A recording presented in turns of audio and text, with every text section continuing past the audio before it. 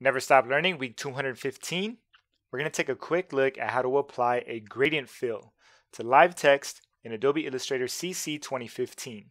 All right, so the reason I wanted to create this video was a lot of people don't really know that you could apply a gradient to live text. They end up outlining their text and then it becomes a problem if they have to go back and make some changes. So I'm going to show you a new way to work. I'm going to hit the T key on my keyboard to activate the type tool. Click once on my document and then just type out some text. I'm going to type in Adobe Grind, Command Enter, and get rid of that caps lock. I'm going to make this text larger, then Command Shift C to center justify my text. Alright, so now I'm ready to apply this gradient. On the bottom left side of my screen, at the bottom of the Tools panel, you're going to see that I have the fill activated. That means it's on the top, and it has a black swatch applied to it. Over on the right, I got my swatches panel, and I'm going to click on this guy right here. It's called Sky. It's a default swatch. Just click on it once, and notice nothing happens to my text, but it is showing up on the bottom section of the Tools panel. All right, so what you want to do is go into the Appearance panel. Anytime you want to know about what's going on with your artwork, you want to look in the Appearance panel. All right, because I am going to apply different fills and strokes to this, I want to double click on Characters. In here, I'm going to get rid of this fill. Now, this is just my workflow whenever I'm applying like gradient fills to live text, or let's say I wanted to apply double stroke to this, I would come into the characters, remove the stroke, and remove the fill. Once I've done that, I'm going to come to the top of the panel and double click on type no appearance.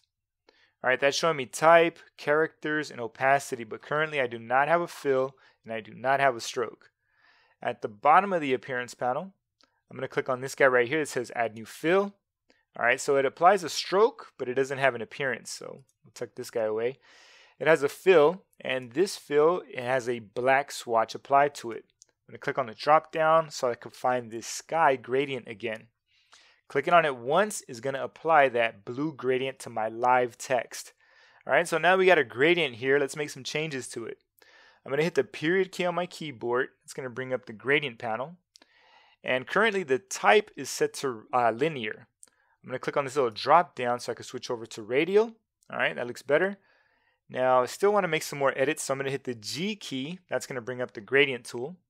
And now I could reposition this guy because I have that tool activated. And now it looks like the gradient is radiating from the upper left section of the text. All right, so I'm going to hit the T key on my keyboard. Now, this is all live text, so you could always come back in here and make some more changes. So instead of Adobe Grind, I'm going to just select that text, type in Sebastian Bleak, Command Enter to accept that change, get rid of the caps lock, and notice this text still has that same gradient applied to it. I'm going to hit Command T, and that's going to bring up the character panel. And I'm going to switch this font over to a thicker font. All right, there you go. That looks good. Let's get rid of these panels. And there you go. So I just wanted to show you guys how you could apply a gradient to live text to kind of speed up your workflow in case you need to go back and make some changes in the future.